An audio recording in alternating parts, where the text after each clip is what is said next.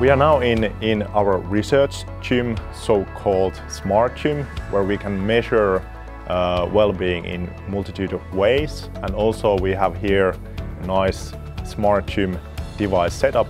These HUR devices have many competitive advantages as compared to so-called typical strength training devices. First of all, for us it is very important that we can measure uh, the strength training progression in clients näytetään kortti laitteelle, niin hän tervehtii meitä kohteliasti ja, ja tota, sit siinä näkee mitä on edelliskerralla tehty tai viimeksi tehty ja siinä niillä mennään, jos ei ole tarvetta vähentää tai sitten lisätä painoja tai liikettä.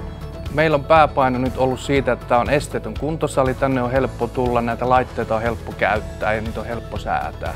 Eli se on meille ollut se ykkösjuttu tässä. They work with pneumatic uh, resistance, which means that, that the resistance starts from zero and it's, it's continuous kind of increase. It's very good for our clients who are not used to training in gym.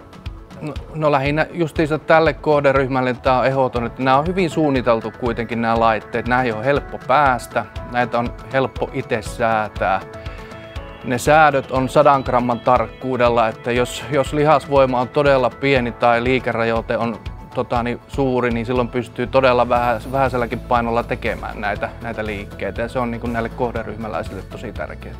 No mä oon ollut aika huono kuntosalin käyttäjä. Tuota, että tästä se nyt on oikeastaan lähtenyt mun kuntosalin käyttö. Että nyt nyt tämä on niin juurruttanut mut siihen, että tällaisille laitteille on niin helppo tulla ja mä haluan nyt jatkaa tätä kuntosalitoimintaa. Tosiaan mä oon ollut hyvin laiska kuntosali, enemmänkin mä oon lajiharjoittelija ollut aikana.